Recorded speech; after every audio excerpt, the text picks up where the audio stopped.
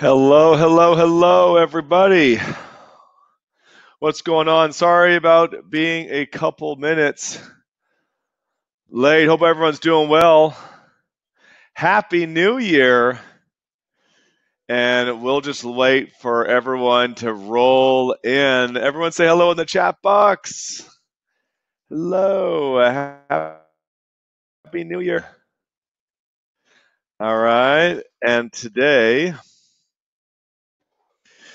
today we got a cool webinar, cool mastermind, all about Parkbench, all about how to succeed, how to do well, how to give to your community, how to do these interviews, how to make money from this, how to build your brand from this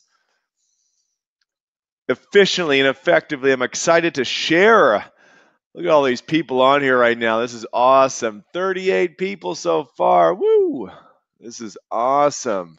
All right, we're gonna get started really quick. I'm just gonna make sure if it, can everyone see me? Can everyone see me? So I do. I will have a report to send to people as always. Um, I will have like I have notes in front of me right now. I will have uh, the replay will get sent out. Okay, but today um, I thought we would just do all webcam today instead of just showing my Word documents. All right, so I'm getting some good feedback that you can see me and that you can hear me nice and clear. I'm getting some good feedback that you can see me and hear me nice and clear. This is awesome. I gotta say good morning, everybody. Look at this.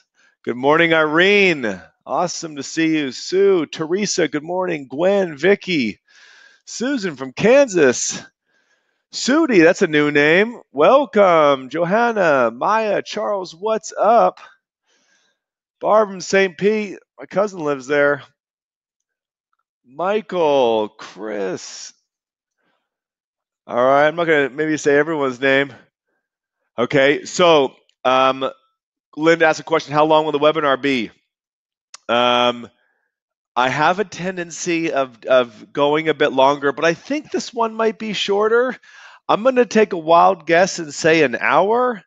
Um, I don't ever really get them done in half an hour. The replay is always going to be there. The notes are always going to be there. So if any of you have to leave early, 2019 and we want to make it. I hope you want to make it your best year ever. Um, I know I want to make 2019 Parkbench's best year ever. Okay, so um, let's get right into it. Okay, and I want to I want to start with a question to get everyone to start contributing with some thoughts and some ideas about a really important question to remind ourselves of and that's this what business are you really in? What business are you really in? When you think about your goals, when you think about all the things that you are doing, want to do, maybe should do, maybe should stop doing, always bring it back to that original question. So, everyone, start writing your answers down to that question What business are you really in? Before we get into goals today and we talk about uh, how to succeed with Parkbench and book interviews and planning and execution and promotion and follow up and all that fun stuff, what business are you really in? Because the superficial answer is hey, I help people buy homes. Hey, I help people sell homes. Hey, you know, I have a business that's supposed to make money and profit. Hey, you know, even even the people business is getting closer. Okay, the people business is getting closer to maybe some really thought provoking answers that get at the root of where your mind should be at, where your um, your values should be at if you want to make this 2019 your best year ever. Because I could say that, hey, Parkbench is in the business of making neighborhood websites. and helping realtors uh, make money. But the business I'm really in is helping local professionals be happy, healthy, and wealthy. That's what I feel I'm in the business in. So, what are you really in the business in? Because if you start thinking about the people, if you start thinking about how do you want homeowners to feel, how do you want the people in your community to feel about you and about your business? What are you doing for their life above and beyond the real estate side? Because if you can solve a bigger problem for the people in your community, if you can solve a bigger problem for your community, you will get paid much bigger than if you solve the small problem of helping someone buy a home and helping someone sell a home. If you think that you're in the business of helping your neighborhood grow, if you think you're in the business of helping people maximize their life in their community, if you think you're in the business of improving the economy and improving small business in your community, I think not only will you maybe get more energized consistently throughout the year because solving big problems is a ton of fun, but I think you'll then start to act in ways that will make 2019 your best year ever. All right. Great answers, everybody. I'm just reading them up on another screen. And I'm going to put a report together to compile all these answers for everybody. Now, here's my next question I want to ask everybody because we also want to get rooted in this answer. When we think about our business for 2019, we got to remember where have you got clients in the past? Answer that question in the chat box. Where have you got clients in the past?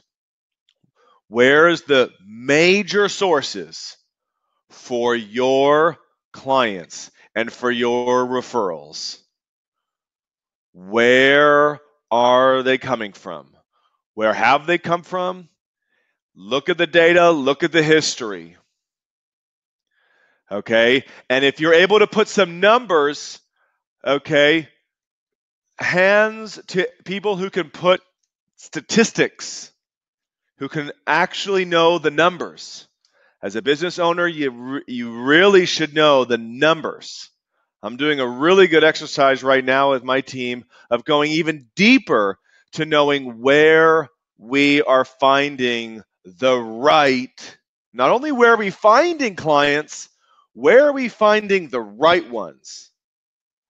Because you guys being so engaged and coming on these masterminds, you're the people that we want to work with. The people who are out who are actually doing the interviews. Okay, there's always two camps of people at Parkbench those who do the work and those who don't. We want to work with the people who do the work and who are valuable members of our community, like you all. And so we I want to reverse engineer and go, how did I find Chris? How did I find Irene? How did I find Debbie and John? Right? I want to know this even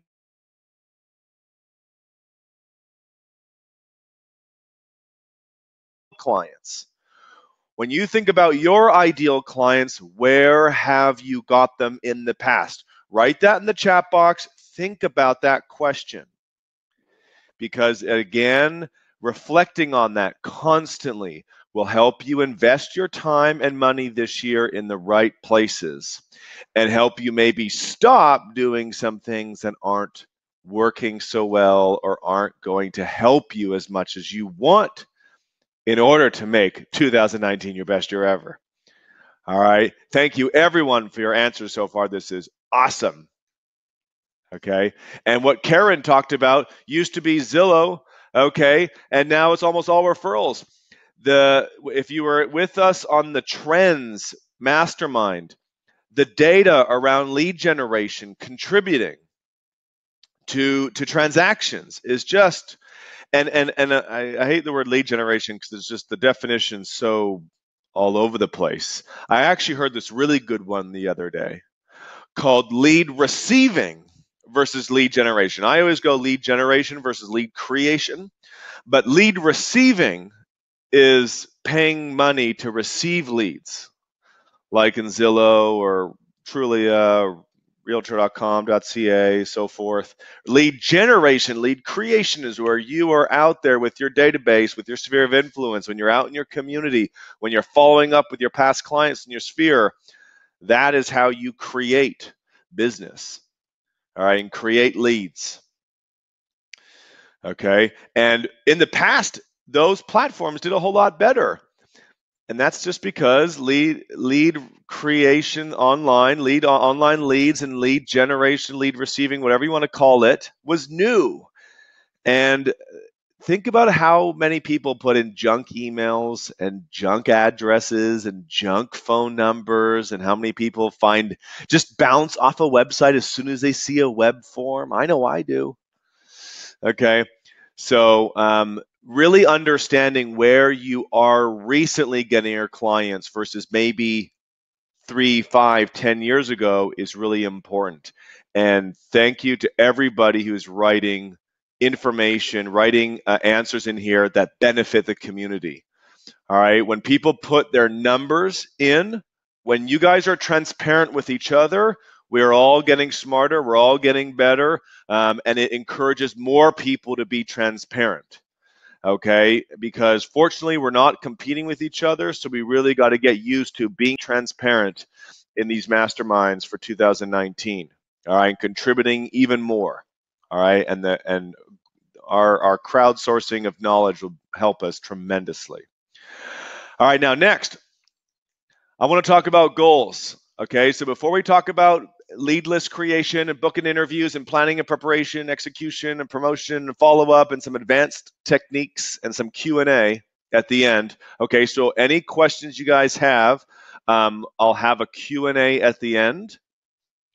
Um, and then if you don't get something answered, you can always call in or email in um, if you have to leave early. All right, but let's talk about goals. Okay, so I want you to start briefly thinking about your goals with Parkbench for 2019. Okay. And I want you to clump, all right, I want you to group or chunk, all right, your goals into three categories. One is the critical numbers. Okay. So critical numbers is for sure clients, referrals, okay, and you might want to talk about volume or sales growth or because yes we are doing something positive for the community but a metric is the success of our business because we know they are in direct relation. The more we give the more our relationship is and this is where the second number is smart numbers. So interviews booked, interviews completed, subscribers to your website, database growth, relationships built. Okay. Volume, I don't know where you put that one. Average home price you work with, where do, where do you put that one? Your commissions, where do you put that? But how many people are you serving? How many buyers you serving? How many sellers you serving? How many listing presentations? How many buyers meetings? Some are critical and some are smart. Okay, and the smart ones mean that if those numbers are going up, the critical numbers you can have faith in will go up as well. And that third metric group is the vanity metric. Okay, and so I want you to start grouping which, what are vanity metrics, what are smart metrics, and what are critical metrics. Because traffic to your website brand impressions, social media fans and followers, in my opinion, are vanity metrics. It's not that I don't want them, it's not that I don't value them, but I don't want to get sucked into caring about those metrics. Because if I focus on the other stuff, that stuff will get sorted out. If I focus on booking interviews, if I focus on completing them, if I focus on follow up, if I focus on relationships, if I focus on working with people, I will have more traffic to the website. I will get more brand exposure. I will get more fans and friends on social media. But when you think about my when I think about my equation, okay, for, hey, the majority of my business is relationship and referral, the majority of my business I want to be through relationship and referral, those metrics aren't really in the formula.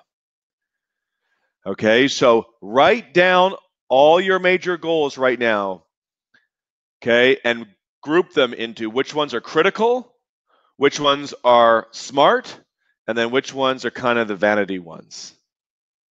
Okay, videos. How many videos do I create? Okay, I probably wouldn't put that in critical. I put that in smart because you definitely want to do more video. You definitely want to create more content. It's good for short and long term of, for your business. Okay, but I don't want to go too deep into goals. I just wanted to ask you those questions of recategorize your goals into which ones are critical, which these are the most important for your happiness, for your health, and for your wealth. These are the most important for your family, for your future, and for your your business as a whole. Smart numbers are the ones that you you care about. You want them to improve. And you know that if you work on those numbers, the critical ones will almost get will will deal with themselves. Because those critical numbers of you know serving more buyers serving more sellers it's sometimes hard to focus on those on a daily basis because you don't quite know where they're going to come from okay but if you focus on the smart numbers which is hey if i focus on talking to new people every day talking to following up with my database, booking more interviews, doing more interviews, um, doing more prospect phone calls, creating more content. If I focus on these numbers, those ones will take care of themselves. And the vanity metrics I care about, I want to track. They're important to me, but I actually won't focus on them. I'll just let them take care of myself themselves as well. All right. So what you will find is that you'll be living with and focusing on the smart numbers. And the critical numbers and the vanity metrics will take care of themselves. Okay? So think about your goals again. If you've already done the business planning, I mean, we've had masterminds in the past. Um, so if you, maybe what I'll do, I'll make a note here.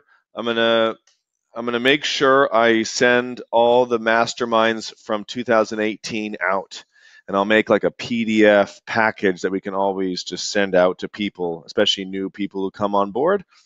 So 2018 masterminds links.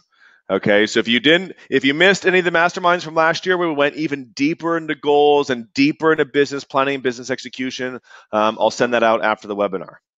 Okay, but I really wanted to today talk about Parkbench all right, because we, we I'm, I'm not going to do it that much. Um, as you know, these masterminds are very much uh, a higher level strategy for business and skill development for business and mindset and motivation and just really big picture, right? I want to help you be successful in your business, and I know Parkbench is a piece of it, um, and hopefully a bigger piece over time. But I know it's a piece of it, and I want to work. I want us together to work on the whole thing but I definitely wanted to have a whole thing on Parkbench today. All right. So step number one, okay, the lead list. Okay. Who are you going to interview? Who are you going to get to subscribe to the website? Who are you going to get to use the website? And I want to start with this question. So everyone get ready to start typing in the chat box and answer this question right now for everyone in the group crowdsource this information? This is going to be a really great question to help everyone create their lead list. Who has given you referrals in the past? Who, it could be business owners, could be professionals, could be uh, past clients. Let's just say everyone, okay? Everyone has past clients refer them business. Friends, family, FISBOs, nonprofits, community leaders, who has given you referrals in the past? Mortgage brokers, painters, contractors, personal trainers, hairstylists. Who has given you referrals in the past? Everyone write down all the major people that have done it or the best ones. If you have a special referral generator that gives you tons of referrals, let everyone know who is that amazing person in your life who refers you tons of business. Because maybe some of the realtors who are newer into the business or newer into building a business through relationships and referrals, we can all start learning from each other of who we should start spending more time with because success leaves clues. All right, success leaves clues. So, everyone in the chat box, everyone's got to give more to their mothers. That's a great one.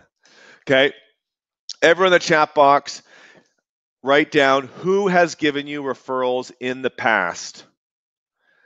Okay, because when you're building your lead list, here is my recommendations of how you should go about this.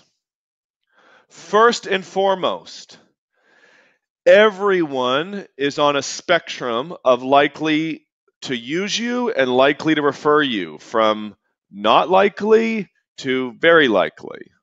And past clients, people who have referred you already, they're at the end. Keep giving value to them. People are creatures of habit. If you've referred once, you will refer twice. I am an amazing customer. I refer tons of business. I am just a brand whore, you know, part of my language. But I just love promoting brands that I love. I love promoting people and products and services that I love that I think can help other people out. Okay. Um, so I always start with the people at the far end of the spectrum first. How can I give them more value? How can I interview them? How can I tell them about the website? Hey, John, do you have you heard about the new website for the community? No, Grant. Like I want to show it to you. It's got local news, local events, local deals. I'm getting I'm doing interviews and I'm featuring people on the website. Hey, do you have a product or service? Do you want to promote? Hey, I know you have a business, you know, and I'm looking for people to interview and feature on the website. It's all for free, and you're my friend, so I'd love to help you out. Do you want to be interviewed and featured? It'll be fun. Okay, I am going to the people who have already referred me in the past. I'm going to the people who I believe are very likely to use me and refer me, and I'm going to try and add more value to them. So look in your database when you create your lead list first. That's your first priority. Number two, okay, if I have a really good relationship with this person, if I have a very strong relationship with a person, they're again likely to use me and refer me. They maybe haven't in the past, but I believe they may. They may use me, they may refer me, and I want to add them more value because if I go talk to a business owner I've never met before and they have no idea who I am, I can definitely turn them into a person who uses me and refer me, but that's going to take some work. And hey, entrepreneurs are lazy. Okay. We, we are looking for shortcuts. We are looking for the low hanging fruit. Okay. We're looking to, to, to get the best bang for our effort because there's so much stuff we got to do every day. All right. Who's with me? Okay. So I am going to people I have high relationship strength with first. Okay, I'm going through my database, and I'll talk later. I'll bring up later uh, a prospecting tactic that you guys can use that allow you to reach out to everybody in your database, even if they don't want to be interviewed, even if they don't want to subscribe to your website. A great prospecting tactic to help you reconnect with people and develop your brand as someone who is community minded, relationship based, and of a higher um, position or status than maybe realtors who just spam people and are salesy and cheesy. Okay.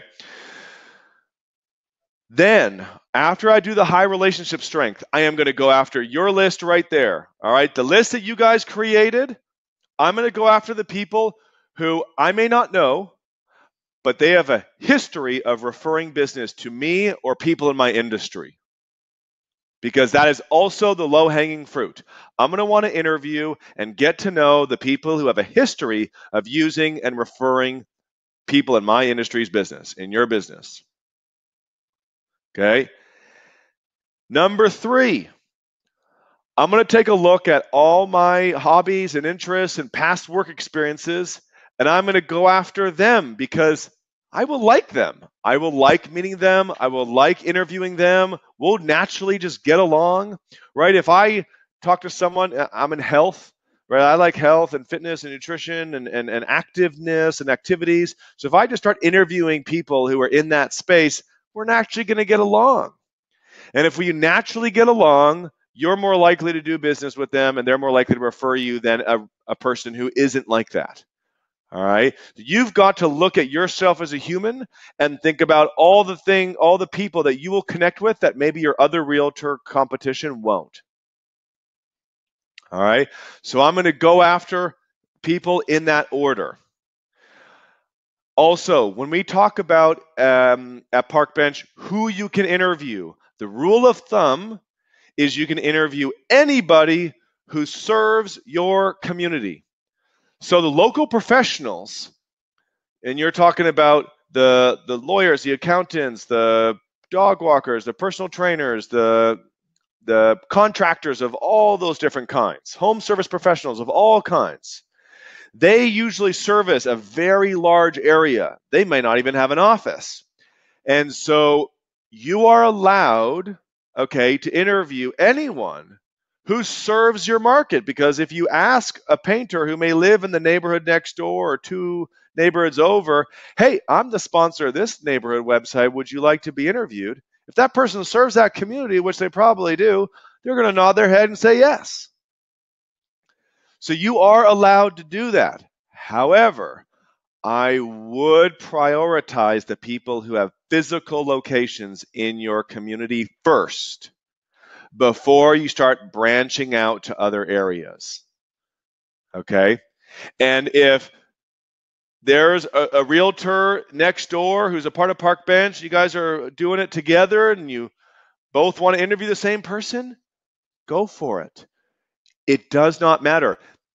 PR good free PR is good in in, in plentiful quantities. No business owner says, "Oh no, I've always I was already interviewed. I don't want to be interviewed again." All right. The business owners want to be interviewed many times over, even if it's the exact same questions. I myself have been interviewed many times over, and I'm answering the same questions every single time. Okay. So don't worry about that. If rare, it's, I think it's happened like once or twice in five years where two realtors wanted to interview the same person. I just said, go do both of it. Go, both of you go do it. Um, if you really want to okay? But that's how you think about it. First focus in your in your area. Then you can branch out if you if you need or want to okay? But i think there's usually an abundance of people to interview in your area. And the one that i want to challenge a lot of people i'm going to actually have a challenge um, coming out at some point with FSBOs okay? Not only when you look at the market are for sale by owners privates if you call them that or uh, expireds on the rise. Okay. The, the trick that we have, the value that you can give to FSBOs, to interview them, to feature them, to feature their property on the site, to interview them, fe- and interview and feature that interview on the website, to, to help them try and sell their home, knowing that statistically you'll probably end up getting the business. If you want to get more listing presentations, you want to get more sellers, if you want to get more clients, if you want to make more money, I challenge you. I encourage you go after the for sale by owners. Okay? Interview them, feature them, give value to them first, build a relationship with them, and just let the statistics go to work. Okay? The next section I want to talk about, if there's any questions, I'll look up at the chat box right now. If there's any questions about who to interview or how to build a lead list or where to build a lead list, put that in the chat box right now. If you don't have a CRM, say, I don't have a CRM, I don't have a place to record all the people that I want to interview so I can track my progress to booking the interviews. If you don't have a spreadsheet, Google Sheets, CRM to do that, say say I don't have that in the chat box and I'll send you our interview booking tracker where you can put your lead list in and then just start chipping away at it over time. And it will keep you organized, keep you efficient, and help you learn how many calls, emails, texts, social media direct messages do you need to do in order to book the number of interviews you want to book. Okay, so if you don't have a CRM, if you uh, don't have a tracker um, to help you be efficient and to put your lead list in to book interviews, um, say so in the chat box. Okay. Do we have scripts that have been successful with FSBOs? Yes, we do. So if you'd like the FSBO park bench, FSBO freaking the key that unlocks FSBOs using Parkbench, if you want that, put that in the chat box. Say, I want the FSBO key. Okay, and I'll I'll send that to you as well. It is just unbelievable. Okay, and and and if you and if when I say FSBO, you're like, oh, like I don't like FSBOs. Like I get it, because the the past scripts and the past methods for going after them was very salesy and cheesy and pushy. Like you had to you had to be a salesperson with no shame and you know just go after it. And it, it's fine like the systems out there work but if but if you have that cringe when you hear about going after FSBOs and expireds there's no cringe in our system. It is so much fun. It is so easy. It's so pleasant. Uh, they love you. They they love talking to realtors when they're a Parkbench realtor. It's unbelievable. Okay but let's talk about let me see if there's any other questions Okay, let's talk about how to book interviews. Okay. I have heard that some you know when i hear from this the client success team like how people are booking interviews you know everyone's like oh you know this realtor found this way to book a lot of interviews through facebook or through instagram or through email um, and we we train on that. So it's no it's no weird reason why that happened. But it, I find, and I know a best practice for making building your business and making money and and getting an ROI from this. The dominant way that you book interviews should be done in person or over the phone. First, you should do it. I know some people try to get other people to do it. There are so many stories of people who have got clients or got leads or got referrals when they booked the interview, let alone doing it and following up and all the promotion after and all that stuff.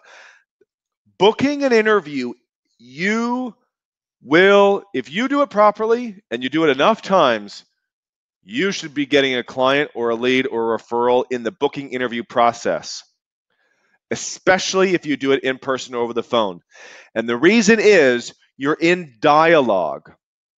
Okay, you're in dialogue when you're in person over the phone. Like the person's not going to hang up on you that easily. It's not like a, a Facebook or an email that where you send a message and then, then you just wait and the person can just respond and then just send it and then be done with it. Right? When you're in person over the phone, it's like you're talking now. And when you're talking, people start asking questions. And when people start asking questions, it starts leading them down this path of finding out who you are, what you do, why you're doing it. They start liking you, trusting you. And if they have a need, or if their friend or family has a need, or if their staff member has a need, which we have seen many times, the staff members need to buy and sell, the friends and family need to buy and sell, or that person they're booking an interview with needs to buy or sell. And that's why you want to book interviews in person or over the phone. The script's really simple. Hey, my name is Grant. I'm a sponsor ambassador of this new local website for Liberty Village, and I would love to get to know you and feature you on it for free. Do you want to be featured? Right? Not that fast. Okay, but but that is the script. It's really that simple. You can fluff it up a little bit okay, and talk about it. Hey, I'm a sponsor ambassador of this local website. It's all about shopping local and keeping people up to date with what's going on in the community. And as the ambassador, I'm looking to interview cool business owners and feature them on the free. Would you like to be featured? Okay. Um, so you can fluff it up, but keep it short, keep it concise. Okay. And let's put a question in the chat box right now. What are your best practices for those people who are who have done interviews, who have booked them, who have got results, who are having success, who can share some knowledge, who can share some insight? What are your best practices for how to book interviews? What are your best practices for how to book interviews? And what I'll do, um, remember the online course, I go through that script a whole lot slower and I write it out. Okay. Everyone has access to the online course, right? Okay. Um, so I'll, I'll just make sure to send links and info about the script. Okay because we got lots to cover. I want to move on. But everyone else, what are your best practices for booking interviews? Because if you're a true master when you can teach it, okay? So right now, if you think you can teach it, write that in the chat box, and I'll put everyone's tips and tricks into the chat box. Martha. Martha is the queen of networking groups. If that's Martha Vasquez. She's had lots of success with her chambers and networking groups. Okay. Next. All right. Planning and preparation. All right. So you book the interview, and now before you do it, you want to plan and prepare. Okay. So you got to think about hardware.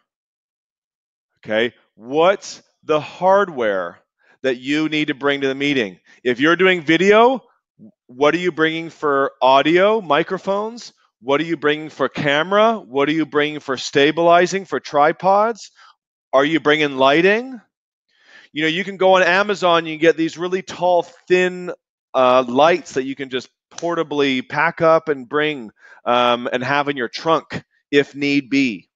Okay, just for some extra lighting, just in case. You can have like two just get two stand-up little lights, um, and they can they can compress and go in your trunk. And if you need better lighting, you can, you can have that there. Okay, but you need hardware, equipment, all right, for your interviews. If you're doing video, if you're doing writing, make sure don't forget this stuff. Okay, don't forget a pen and paper. Okay, if you're doing a podcast, Okay, podcasts are on the rise. I'm going to make a really big push and I'm going to really challenge people this year to do a podcast. And I'm going to come out with a whole course on how to do it. Okay, um, because I had to go through. A, I, I spent a bunch of you know money learning from people who had ranked uh, in the top 10 how to do this and i'm going to give you guys all that information for free Okay, I'm going to teach you how to do it. Um, and I really want to encourage people to do it because it's really easy. You just press record on your phone. Okay, I'm doing the interview with someone. I'm taking notes on my pad and paper, and I got to film all at the same time. Okay, and at the end of the interview, okay, I'm going to stop that video. Okay, I'm going to have a long raw footage, and I'm going to take my phone, and then I'm going to do a short little one, two minute hype video for Facebook that doesn't require any editing because it's just go. Okay. And I'm going to make sure I have a microphone that goes into my phone. Okay. And all this stuff is like 25, 50, you know, 75 bucks. Okay. Which, hey, if you're committed to being great, okay, this is one, it's a write off. And two, you know, it depreciates over time. It's, it's totally worth it. Okay. I want to challenge everyone to create all forms, all right, of content this year. Number two, software, okay? Do you have video editing software? Do you know how to use it? Do you have software if you're doing a podcast? Do you have a CRM? Do you have your own personal website? I know some people don't. Is there anyone who does not have a personal website? Or anyone want to improve their website? Say yes in the chat box. Say yes to website. All right. Social media. Do you have the tools to quickly and easily manage your social media so that you can get the posts out? Okay. You got to think about some of these software tools that you may need. Now, who here has a question about hardware or software that uh, a question of if they should buy something, if they should invest in something? Because another thing that I want to get better at is I want our group to get better at using each other to provide help and advice and a sounding board of whether or not you should invest in something. Okay? Because there's lots of things to buy, and we can end up wasting our money on things that we don't really need or use. Okay, so if anyone has any questions about whether to buy something, okay, I'll try to answer that now or maybe at the end. All right, so when it comes to planning and preparation, you need to make sure you have all this stuff ready beforehand. Then, okay,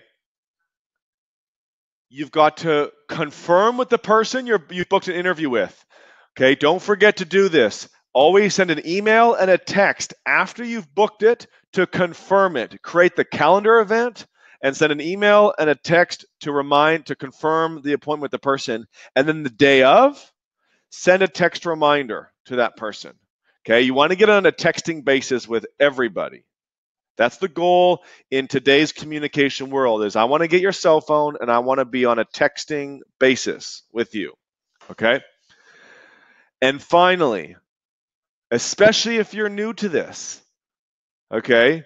Every, every great person who is great at doing interviews, great at booking interviews, they role play. Okay? They visualize and they role play. Okay? So do it. Don't expect to be great at the beginning. If this is the first time you've ever got out in the community and done interviews, let, let's let's because I bet you there's some here in the chat box right here. If you had some fears, doubts, and worries, okay, when you first got started, and now they're gone, okay, put that in the chat box.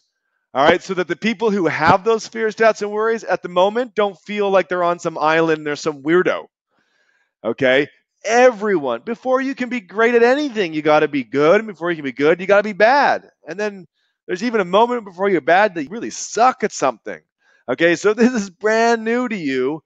Don't worry about it. That's okay. That's also why you start doing the interviews with the people that you have the best relationship with because you can fumble and bumble and kind of fuck shit up with them. Okay?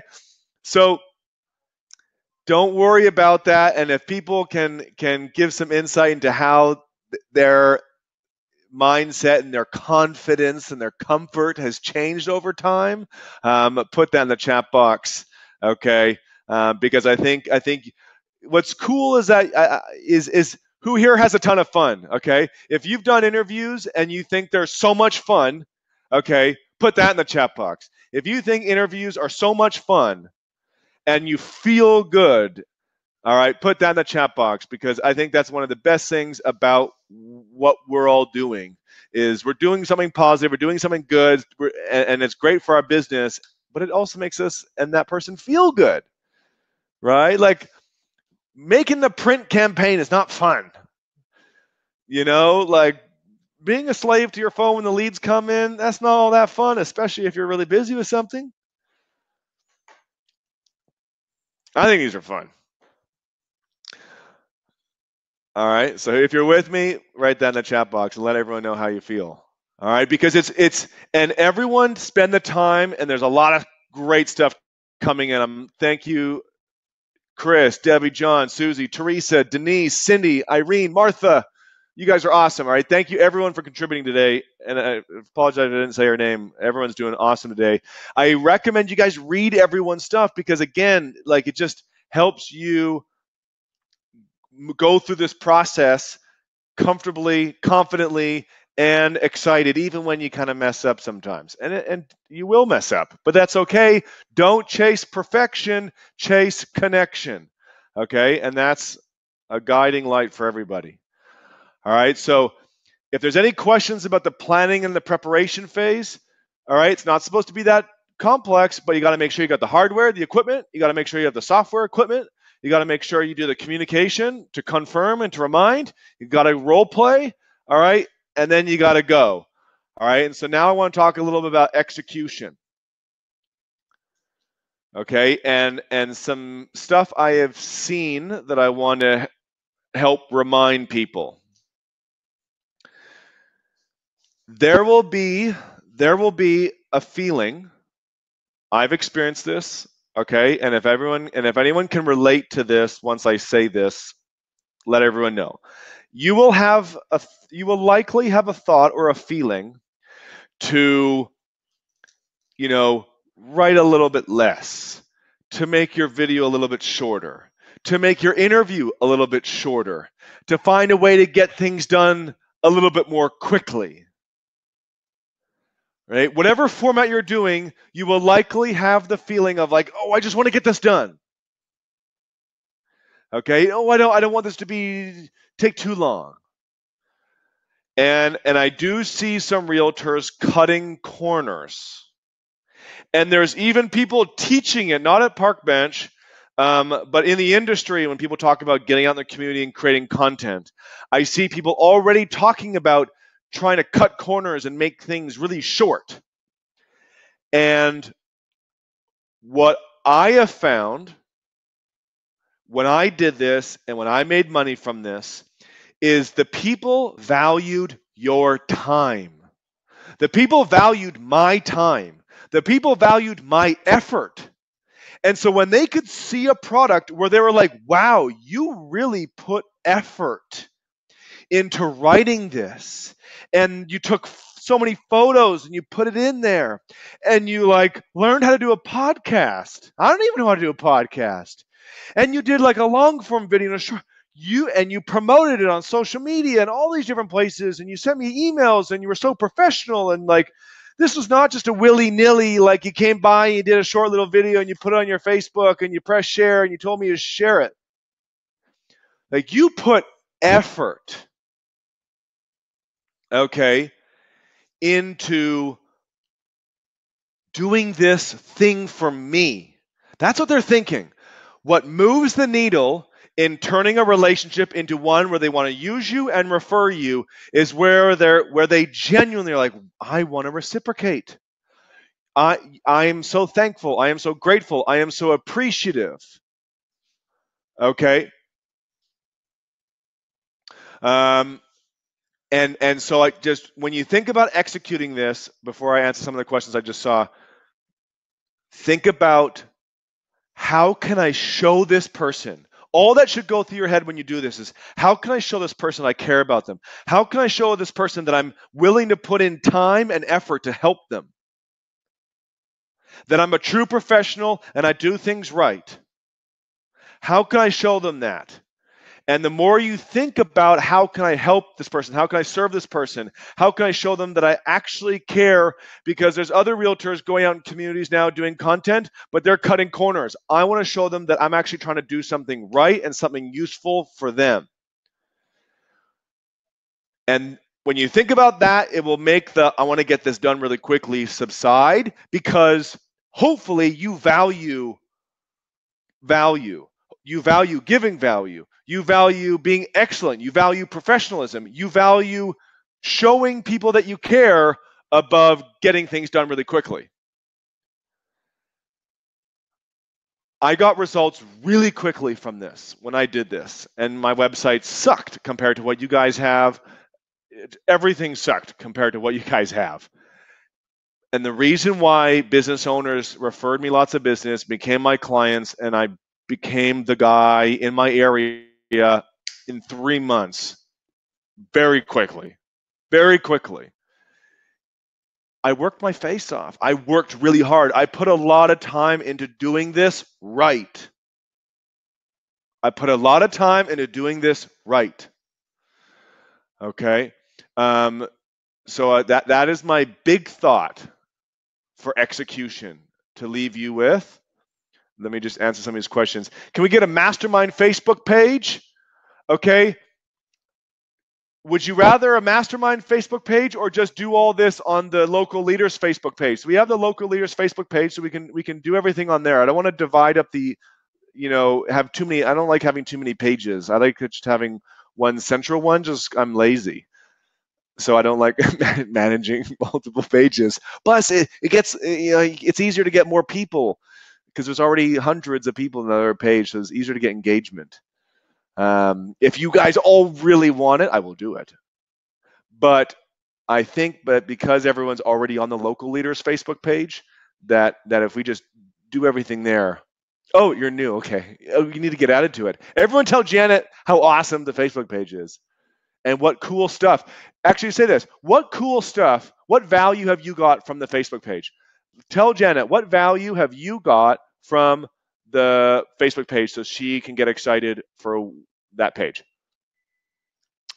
Um, okay, and, and again, every guys, I'm loving everyone's feedback today. I will be going through all of it, and I'll be creating an amazing report. Um, and I probably, it sounds like I have lots of work to do. Top 10 things we should buy and have. Yep, okay, I can do that. Now, back to execution. Here are some other best practices that I, again, find people sometimes miss the boat with a little bit. First, okay, you've got to plant the seed for doing business. Okay, it's be, and it's not salesy, it's not cheesy, it's not pushy when you're asking them if they have any questions about the market. If they have questions about how to buy, how to sell, how to invest. Okay, you do the interview, and then before you wrap up and do the photos and the and talk about deals and you say goodbye, hey, before I wrap up, as you know, I'm a local realtor in the area, or I don't even know if you know I'm a local realtor in the area. Um, do you have any questions about the market before we wrap up while I'm here? I'm always happy to share my knowledge and share some insights, and people usually ask me that question anyway. So, do you have any questions about the market? And then if they do, Okay, lot will do, lot will, won't, but that's okay. At least you asked.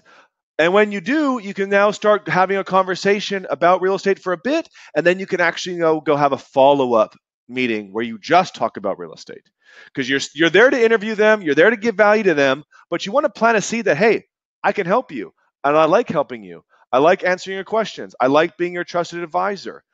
And if you need something right now, I am here for you. You want to do that in the interviews. Do not forget to do that. Some people are forgetting to do that and they're making excuses, otherwise known as justifications. They're making reasons as to why they shouldn't do that or don't need to do that. And when you know you're coming from a place of I'm trying to actually just add more value and answer questions that you have, and if you don't have any questions, I'll leave it at that and we'll just continue on with the interview because I want to help you in that way too. Then it's your duty to ask the question. If you are truly a service based professional, it's your duty to ask them if they have any questions about the market, or else you're not fulfilling your true role as a service professional. Okay, that's my two cents on it. All right. Yes, there's a replay, Dave. Okay. Final two things in the wrap up phase, when you wrap up the interview, take photos. Okay. That's what these things are for. Take photos. Okay. Take lots of photos. Get a photo with the person. Get a photo with the person, even if it's a selfie. That's okay.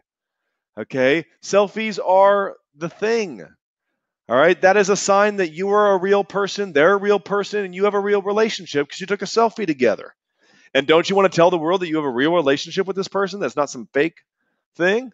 Okay, so if you if you need to do a selfie, go do a selfie. But get photos to put it in your article. Even if you do video, take photos and put the photos in the interview. Okay. And the second thing, and this is the advanced stuff, which I go much deeper in in the online course Okay? Get deals. If if you want to talk about true leverage, okay? Getting business owners to use the website because they're offering deals to new customers, they're offering rewards for reviews, they're putting up their daily specials, they're putting up their in store sales, and they're handing out cards to encourage people to go check out their profile and write reviews and get their deals. Because that what is what makes them money. I made a lot of businesses in my neighborhood money because I pushed them to get deals on the site. It it is a skill. Getting deals on the site is a skill. You're all salespeople. I'm a salesperson. It's free for them. It helps them make money. It's it's an easy sell, but you still got to sell it. People underestimate the fact that they have to sell it. They have to make the person want to put up deals. They almost have to nudge and sometimes really hardly nudge that person to put deals up on the site because you know it's in their best interests. And people resist change. And that's what you're trying to fight change. That's why people just don't want to put up, hey, do you want to put up a new customer coupon? Oh, that's a great idea. Let me think about it. No, I know. You should absolutely think about what deal to put up. Um, I don't know if you know, it's free. Okay. And so if it's free and we don't take any of your money, the amount of days that because I'm promoting your profile after this, right? And I'm promoting your interview. So people are going to the site. People are going to check out your profile. So if people go check out your profile and there's no deals up there, then you then you're missing out on revenue. And so you can log in later, you can change your deal whenever you want and you can actually learn which deals are better than others. But if you don't put up a deal now, you're actually going to miss out on revenue. And the businesses who put up deals right away, they make more money, especially because we're not taking any money. Okay, so let's try, let's put something up. Like, give me a deal. Give me a deal. No, I, I, I, yeah. Uh, how about, how about? I know you want to think about it. How about 25% off? Are you still making money on that? Because worst case scenario is 100 people get this deal they come in your store, they get this discount, you're still making money, and then you go, wow, I didn't need to give that big of a discount. Let me just give, you know, 10% off. All right, worst case scenario, you're making money. All right, don't put up a deal where you're not making money. Okay, because that's not the point of business. Put up a deal to encourage people to come check you out or encourage people to write a review, but make money. Still make money. Make sure the margins still work. All right, so give me something. What do you got? How about 10%? How about 15%? And you just you just got to keep going and going and going and going. Okay? All right, you've got to push for deals. It it this will help you dominate your market. Truly. Truly, truly, truly dominate. Okay? Now, Patty brings up a, a, a point. This is what business owners say. Oh, I don't want to manage another page. Oh, I know, eh? Managing like other platforms that come out where you got to do a lot on it, I know is a real pain. That's why the Parkbench built it so that you just tell me what deals you want to offer. I'll just put it up on the website and you never have to look at the thing ever again. You can just let it just be up there and let it make you more money for free. You can truly set it. I'll I'll help you set up for you because I'll get Darren. Right? I'll just get the deals and I'll just tell Darren support to go do it. But I'll just give it to me. I'll get it done. Right? And then you just set it and forget it. Right? So you don't have to maintain anything. You'll just get notified. You'll just get an email of like, ping, new customer, ping more new review. You don't have to do anything. Parkbench built it, so you don't have to do anything. Okay. So again, that that is a complaint. Okay. We're we're in salespeople. That's a complaint. Okay, or a mild objection. Okay. And so you just got to deal with it. Right? You just got to handle it. You just got to know your scripts. You got to role play. You got to come up with the answers. Okay. I personally, I personally have got over, I know it's over 100, it might be over 200 businesses personally to put up deals on the site in the span of about six months.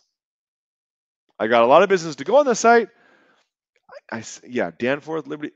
I, I really should get the numbers on it. Businesses do this. They say excuses. They complain. They want to think about it. And then when they do it, they're happy. They're happy they did it. Okay. I, that's the other executional best practice. If you want to make 2019 your best year ever, if you want to blow your Parkbench site up, get deals on the site and get the review cards. And we'll design them for you. And then we'll send you and that business owner the file for free, all including the service. We'll design those review cards. You and them can go print them out. And remember, um, I found I got my friend to become a print broker and uh, provide my realtors probably, I think, the best pricing on business cards and manageable. So if you want to get business cards done so that you can give them to the business, they can hand out to people. Okay, uh, Kyle at Creative Marketing. I know some of you have already used him and, and enjoyed his pricing. Um, it's very good for for print. Okay.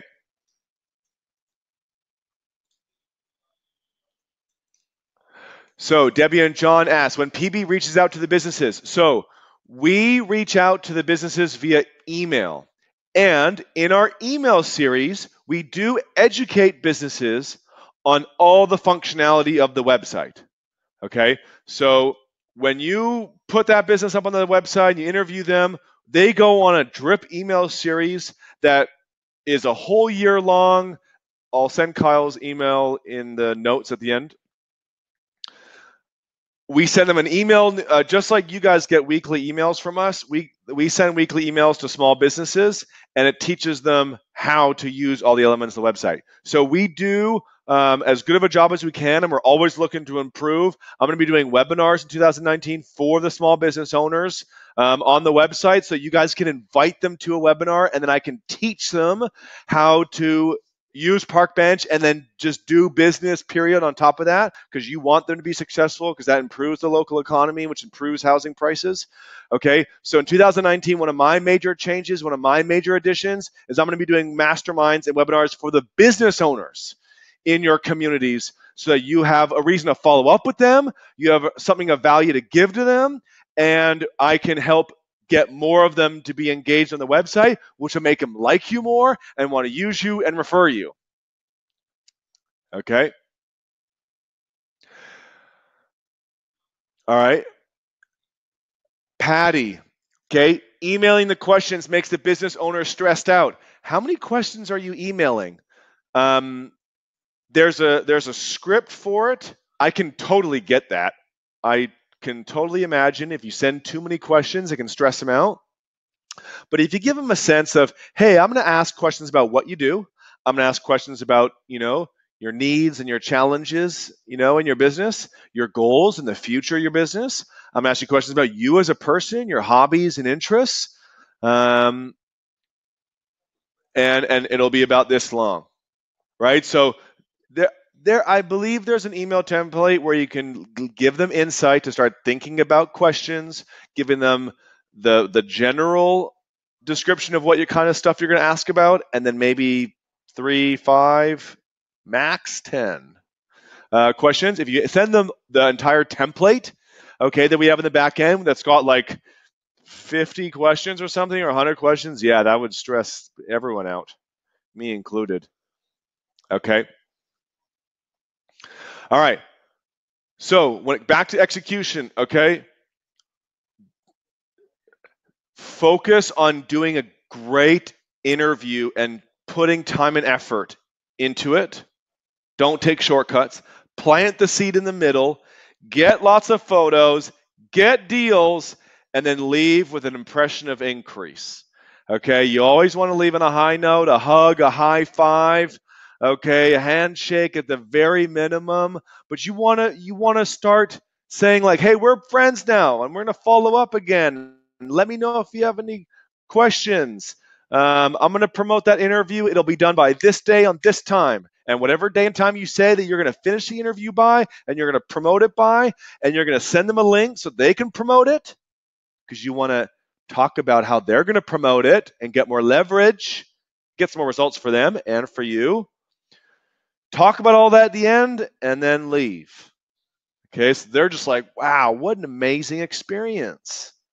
Okay, so think about how you're going to leave with an impression of increase.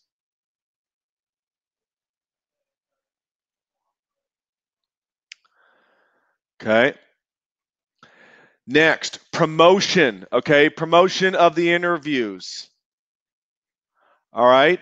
Again, there's there's lots of really detailed training on this, so I just want to go uh, talk about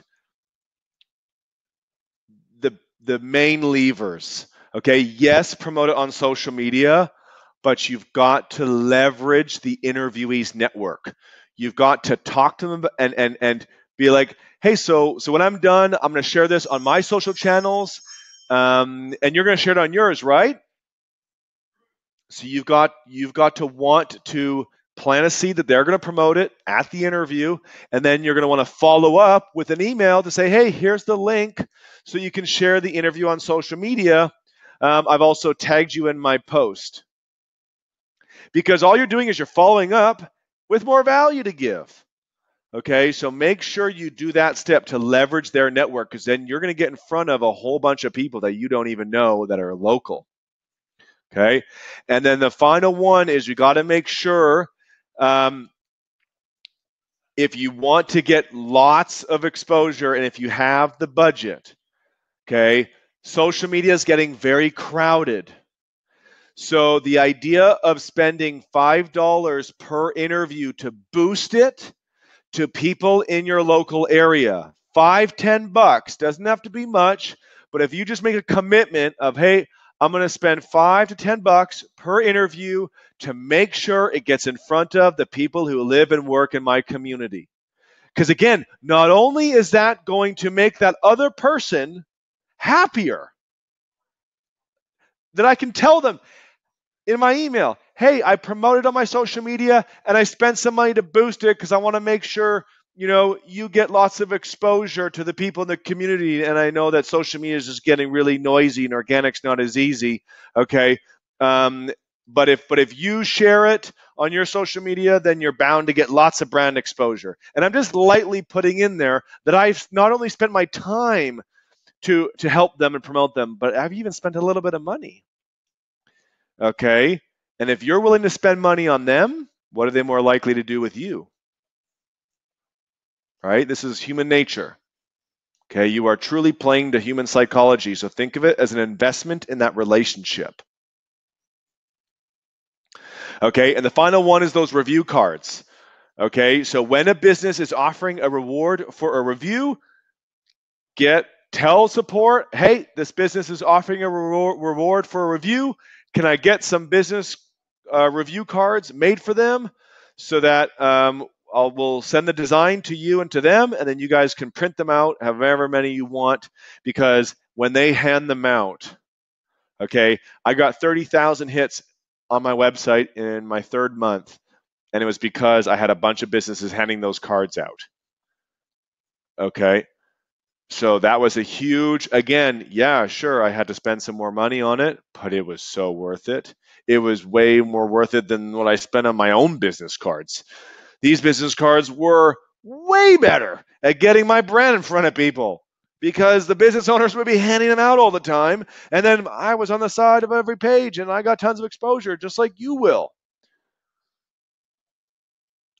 Okay, so those are some ideas of how yes, promote it on your social media, but let's really make an effort. Be very conscious about how can I make sure I leverage that interviewees network because they're going to benefit by promoting it too. How how can I make sure I have a budget for boosting my interviews? And how can I make sure I have a budget for getting review cards made so that I can make sure businesses start handing and, promoting their profile, making more money off the website, getting more results because of what I've done for them, and then therefore being more likely to refer me business and use me. Again, these are all investments in the relationship that you want to tip over the scale so they use you and refer you. That's how I always saw it. This is not a marketing spend. This is an investment in a relationship, and I want to build a business on relationships. So I have to invest in relationships. And if I'm investing in things that help that relationship out, help that person out in their life or in their business, then that relationship is more likely to use me and refer me. Okay. Next.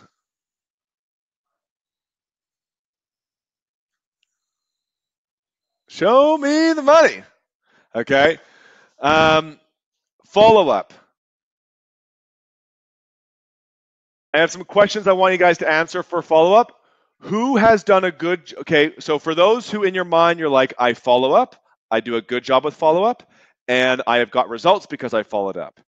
Please answer these questions for the group. Okay?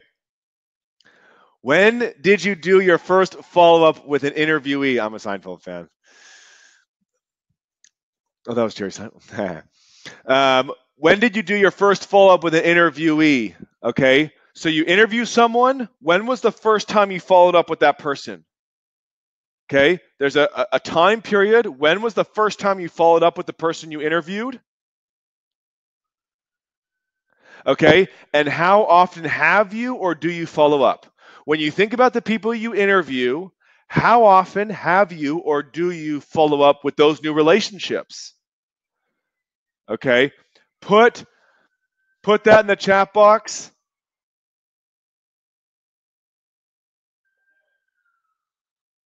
I only got to learn a little bit of my friend Teddy. My friend Teddy was like the ultimate Jerry Seinfeld fan. Um, how often have you or do you follow up? Okay. Here's if you didn't do this in 2018, make sure you do this in 2019. This is going to help you so much. Create leads create business for yourself and get more clients. Every single person who likes, comments, and shares, likes, comments, and shares either your post on social media, which when you boost it, more will happen, or the interviewee's post, the, per, the person you interview, when they shared on social media, those posts, like, comment, and share. Every single person who likes, comments, and shares those posts, DM them. DM them with a thank you. DM them with a, if you have any questions about real estate, do you have any questions about the market? Thank you for shopping local. Thank you for supporting the neighborhood. Thank you for, um, you know, helping this local business get more exposure by engaging on this post. Um, I don't know if you know I'm a local realtor in the area, so if you have any questions about the market, I'm happy to answer for them. I don't know if you know I'm a local realtor in the area. Do you have any questions about the market? Happy to help. Right? It's best if you ask a question, then put happy to help at the end. Do you have any questions about the market? Happy to help. Okay. Every single person, DM. Okay. And you will Sure, there's a bunch of people that won't respond to you, but you will get a bunch of responses and you will get a bunch more leads and you'll build a bunch more relationships and you'll build a bigger business. Every single person, DM them on social media. Okay.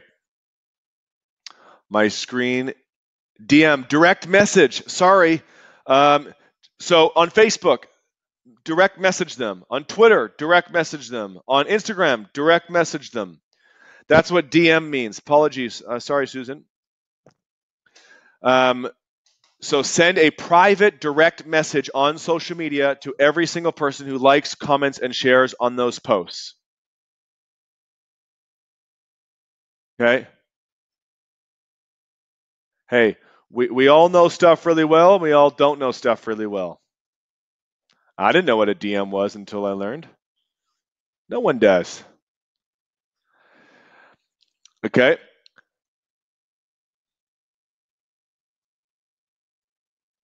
I've got, I, I know this has gone a little bit long. I know people got to go. Okay.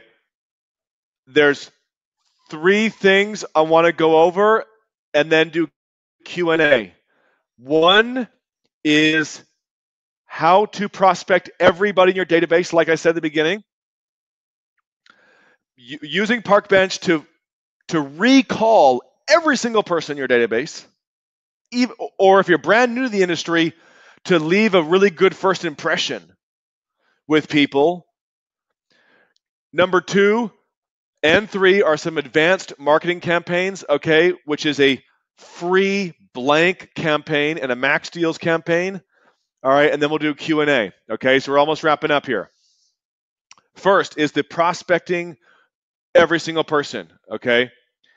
in your database, even if you look at that name and you go, oh, that person doesn't live here or that person doesn't work here, that's okay. You can still call them and you go through this tree, okay, of, of questioning. Okay, hey, John, I already, I already know he doesn't live in the area, doesn't work in the area, but instead of me calling and doing the traditional follow up where I talk about friends, family, occupation, just straight up ask, talk about real estate in the market and have, ask them if they have questions or if they know anyone in the market or blah, blah, blah. Okay, whatever script you use. Before I do that, before I do that traditional follow up, I'm going to say, hey, John, um, I don't know if you know, but I'm the the sponsor and ambassador of this new local website for this area. Now I don't know, you know, I know you don't live here, and I don't. Maybe there's a business. Maybe you have a business I don't know about, because I'm interviewing cool business owners and professionals who serve this area and who have a business in this area, and I'm featuring them on the website for free to help them make more money and get more exposure. And you're my friend, so I thought I would just ask you, like, hey, do you want to be interviewed and featured? Do you have a reason to be interviewed and featured? And I'm just I'm just gonna ask because even though I know the majority of the time they're gonna say, no, that's okay, like there's no reason for me to be interviewed. Hey, that a okay. I just wanted to check. You know, because this is something that I'm doing, and I obviously my friend, so I want to help you out if I could. So this is what I'm doing that. And what's happening in that relationship? It's building. At least I'm trying to help him. And I'm not prejudging that he can't take my help. Because maybe there's a something that maybe it's the new year for him and or for her, that relationship you have, and maybe they're starting a business that you have no idea about. Okay, so don't prejudge everybody, and that's why you can ask that question. First and foremost, ask them if they want to be interviewed and featured. If they do, Great. Book the interview and, and, and end the call. Maybe do some small talk after, but end the call and do more talking when you do the interview. If they don't, if they say no to the interview, they say, hey, that's okay. Um, there's this newsletter that goes out with uh, about the community with recent news, upcoming events, new deals, properties for sale, the interviews that I am doing, so you can kind of get to know people and the businesses in the community. Do you want to be added to that newsletter? Again, maybe they want to stay up to date with your area. And if they say yes, great. What email do you want me to send it to? And you're going to get that email, even though you may already have it, but you're going to get that email because you're going to get their consent and you're going to put it on Parkbench and you're entered on the side of the page and you're, you're going to subscribe them to the website for them. Okay, do it for them because that one little move is going to have them seeing your face week in, week out, over and over and over again as the go to local real estate expert in your area. Okay, so ask for the interview number one, ask for the subscriber number two, and then you can ask them if they have any questions about the market and continue on with your regular follow up. But by doing that at the beginning, you're showing people that you're different than every other realtor, that you're trying to help them out, you're trying to give value, you're demonstrating something about your business because they may be like, why are you doing this? This is so interesting. I've never heard realtors doing this before. Then you get into a conversation about that, and it really starts developing your brand as someone that's different and you're standing out, you're differentiating, and you're showing people that you are the kind of realtor that people want to do business with, um, which is someone who, you know, cares about the community um, and actually does the work and puts in the work to help others. Okay, so it's a small little thing, but I find a lot of people aren't using their Parkbench with everybody in their database. And if you want to maximize your relationships and maximize 2019, I recommend you do. All right. Next are the two advanced marketing campaigns. Okay, I will do um, a whole mastermind on this one. Okay, and I've talked about it briefly before in the past, so I won't get too in, in, in depth in this, but I'll briefly mention it now. One is called the free blank campaign, otherwise known as the free coffee campaign, or the free chocolate campaign, or the free blank campaign. And the other one's the max deals. So the free coffee or free blank campaign goes like this you go interview a coffee shop, feature them on the website, and then you go back to that coffee shop and say, hey, um, if the person was not offering a reward for a review, I would go back to them and say, hey, I want to help you get more reviews to help you show up higher in the search engines. And I want to help you just get more clients and, and customers to engage and become more loyal and, and stuff like that. And I want to, you know, give you some money. So I want to pre-buy 50, 100, pick a number, 50 to 100 coffees. Okay, I'll pre-buy them. If you want to give me a bulk discount, that would be awesome. But you know, I'll pay full price if, if you really want me to. Okay, and I'll, I'll and and sometimes they'll give you they usually give you a, a discount.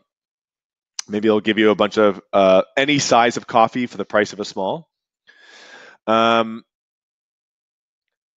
and you pre-buy the coffees. Okay, so you're going to spend 50, 100, 200 bucks.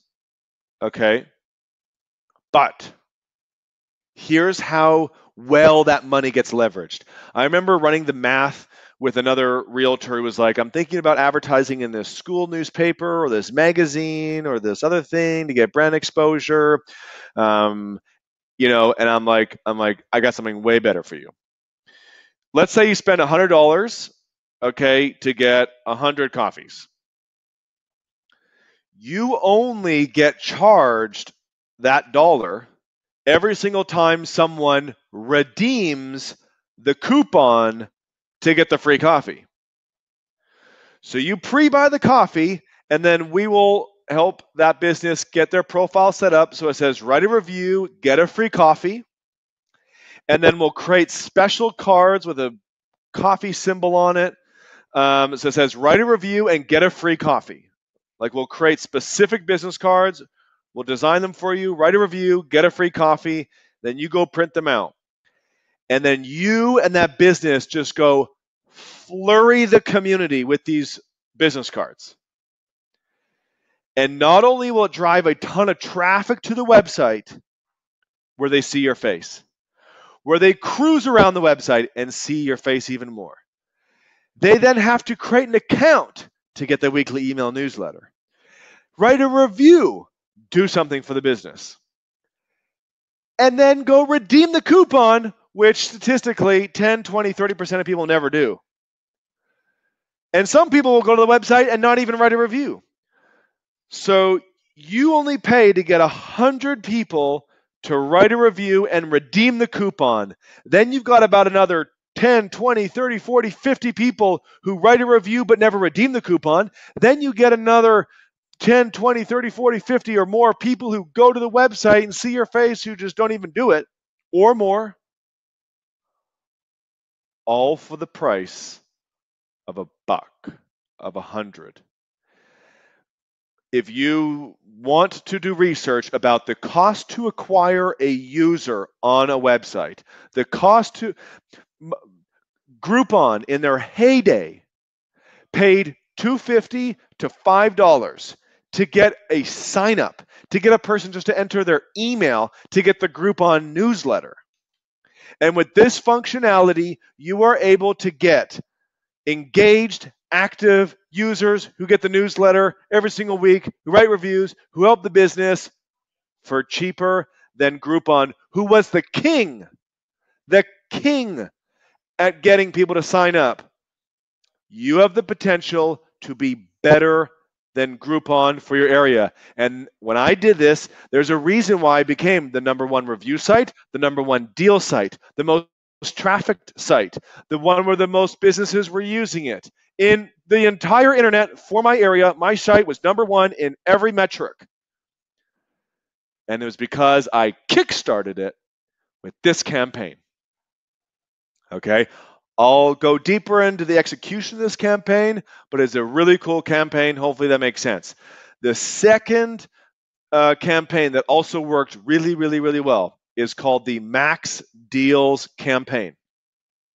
Okay. So this is where I would get, I would walk like like business owners I knew had flyers. Business owners are already flyering people in the community with their deals. And usually they're spending like it's their own campaign, so they have to spend all the money themselves to get the word out about their deal. So I would walk around the community and I would tell the businesses, hey, do you have any deals you want to offer? I'm going to make a sheet with four, six, eight, ten, twelve, however many businesses want to do this. We can all share the cost of the sheet, okay? And then I'm going to distribute it in person and we can drop it off at the condos and apartments and um, hand them out at houses and put them in the schools and we'll just put them in a whole bunch of places. We'll share the cost okay and we'll still get the message out. Like you still get your deal out business owner whatever promotion you want to get out there.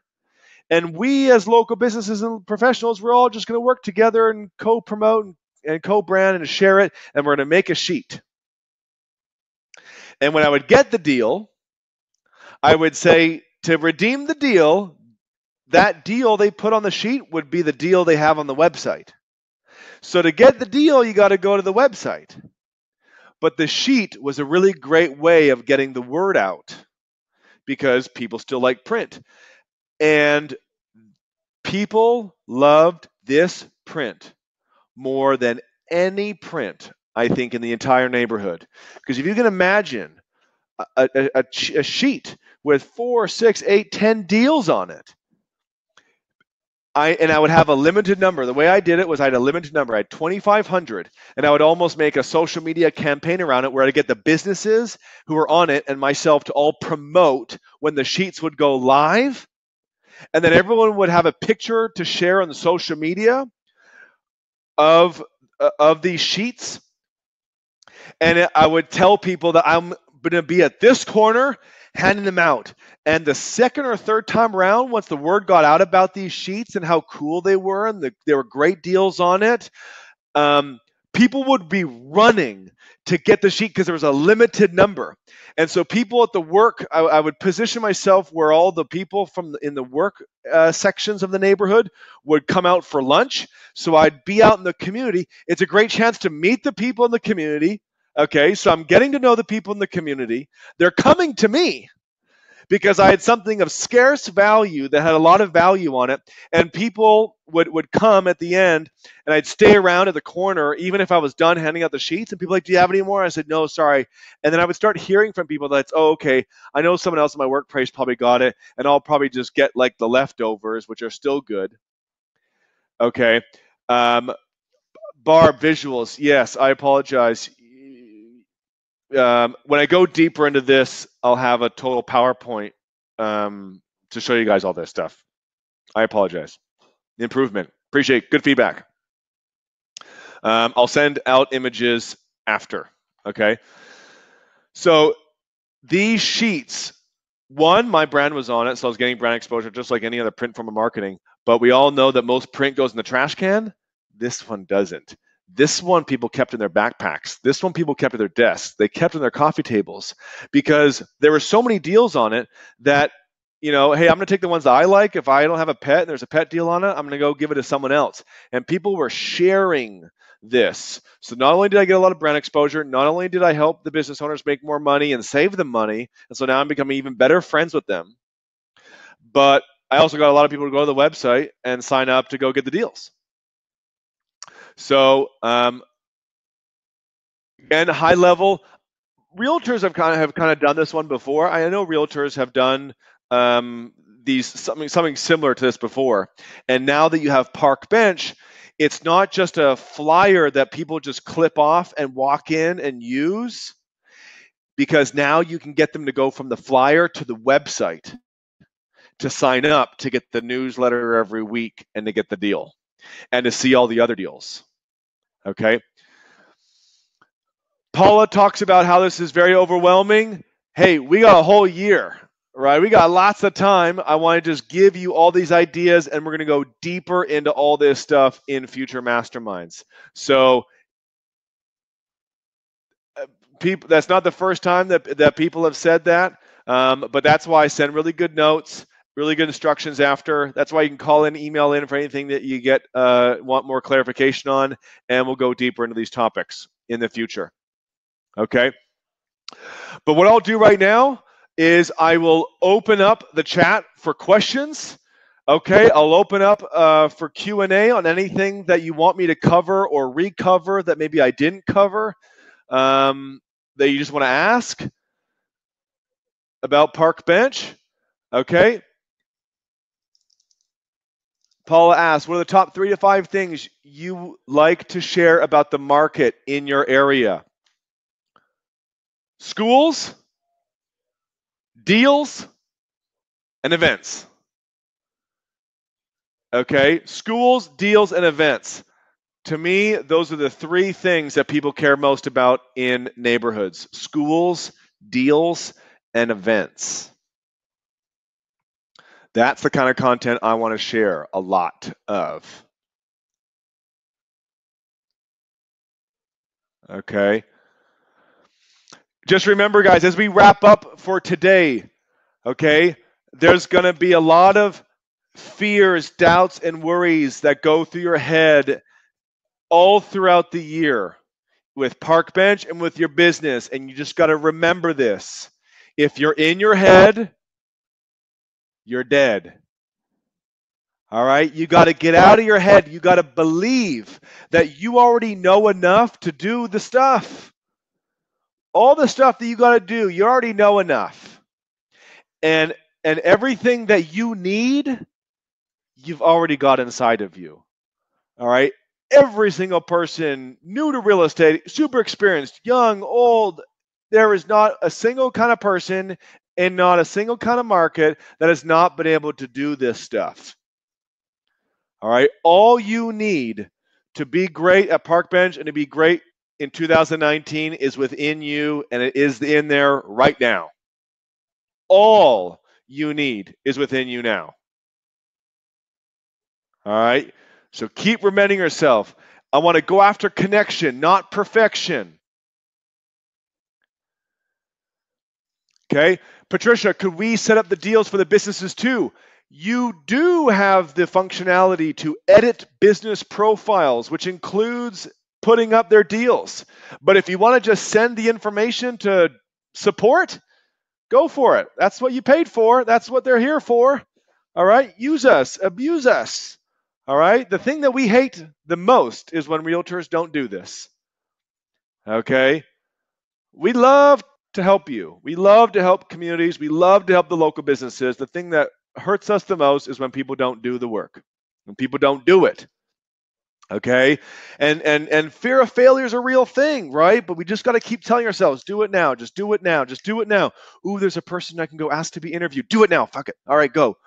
Right? Like, oh, I, I should follow up with that person, but I'm gonna say just ah, just pick up the phone and just figure it out along the way. Like, just do it now. Right? Like, just do it now you cannot fail all right? It sounds super cheesy. You can you cannot fail. You can only learn and grow. I've learned that so much in my life. You cannot fail. You can only learn and grow. There's so many people to interview. Who cares if you mess up once? All right? So just make a plan work a plan. Make a plan work a plan. Do spend time to think but then make sure you can stop thinking. And that helps you get out of your head. If you've done real thinking if you've done real planning if you've done real strategy, if you've got your equipment, if you've got your templates all set up, then you can stop thinking, you can start doing, you can get out of your head, and you can just start executing and have faith in yourself. Okay? And when you when you make your goals, okay, if you don't hit your goal, That's okay because what skills did you develop in pursuit of the goal? What progress did you make in pursuit of the goal? What good things did happen in pursuit of the goal? Sometimes a goal is not supposed to be reached. You're just supposed to use a goal to help you become better. Okay?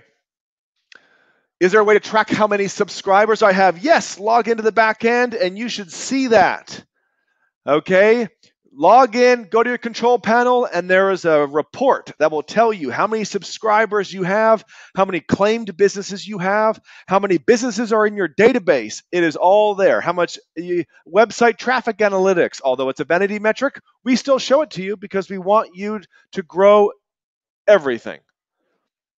Okay, and keep coming on these masterminds. I'm excited for us to have a hundred people in one mastermind because all of us here today, the more people we have, the bigger this network gets, the better we're all going to be. We can all look at our peers to, to help us be more successful.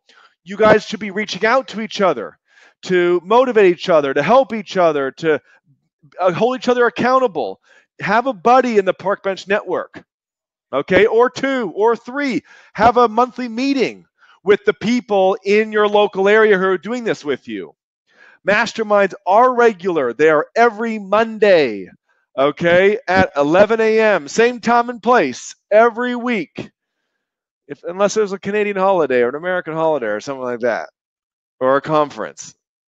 Okay, but every Monday, or else we'll make it up.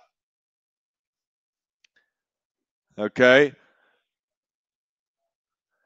One more statistic. Remember the statistic. If this does not fire you up, I don't know what will. 40% of leads are generated in Q1.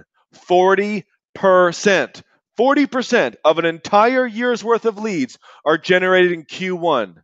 People have come out of the Christmas break thinking about buying, thinking about selling, thinking about investing. They went home for the holidays. They were around family where they got to have real talk, where where they really start to think about what are they going to do to make 2019 their best year ever and buying a home is a solution to that. Selling a home is a, a, solution to that. Investing in real estate is a solution to that. That is why 40% of leads are generated in q1 because it is fresh on people's minds. So if there's ever a time for you to cut out the crap in your life and to do more to work more all right? You can rest a little bit later in the year when you've put in the work now.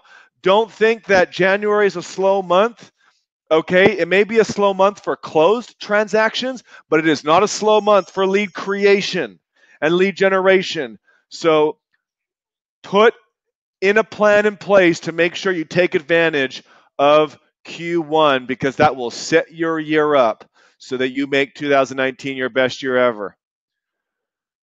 Okay. I'm going to do a quick scroll through the chat to see if there's any other questions I didn't answer. Otherwise, I wish you all the very best. I hope you have a fantastic week. I'm excited for 2019. And if you just want to leave everyone with some inspiring words to help your peers get inspired to take more action, all right, leave something in the chat box for your community here and go have yourself a great day.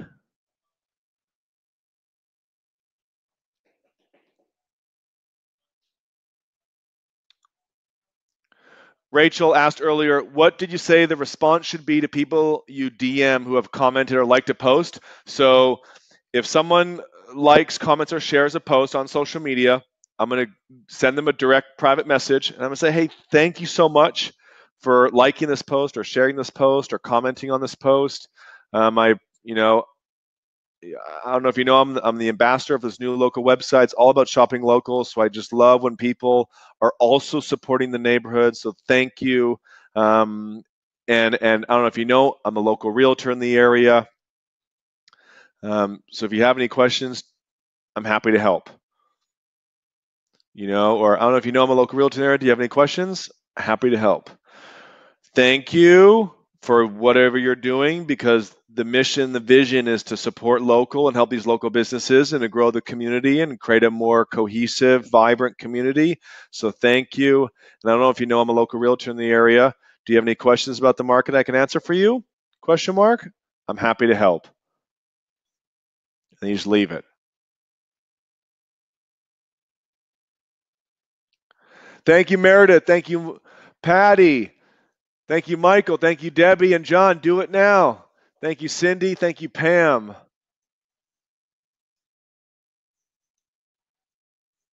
Definitely. Businesses, a lot of businesses were hot in the holidays, and, and now be a good, quieter time to reach out. All right. Thank you, Patricia. Happy New Year, everyone.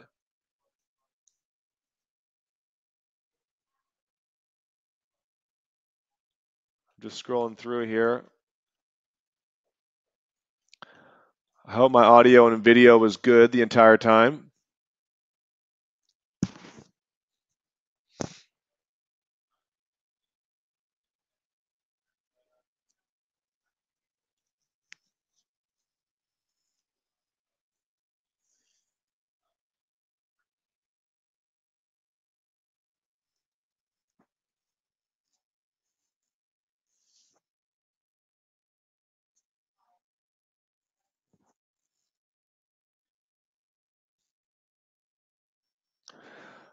Thank you, Sudi. That's awesome.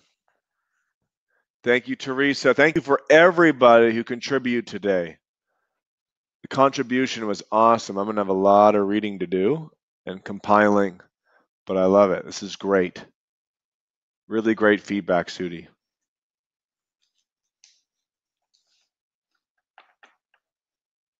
Let your goals be bigger than your excuses. That's a good one. I like that one. That's a great one, Rachel.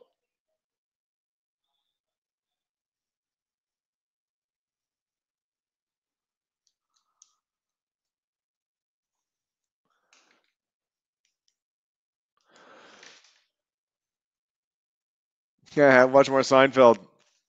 I don't watch too much TV anymore. I did a lot of that. Uh, we had the we had the big briefcase. Me and my friend, have you ever had the briefcase of all the seasons on DVD? We used to watch all those all the time.